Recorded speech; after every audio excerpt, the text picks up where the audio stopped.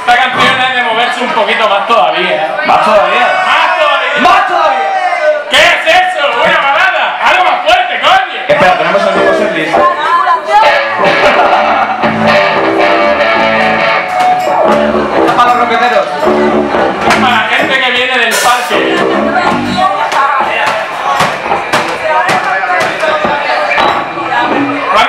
¿Cuánta gente está en Roqueta en un parque cuyo centro es una puta grúa?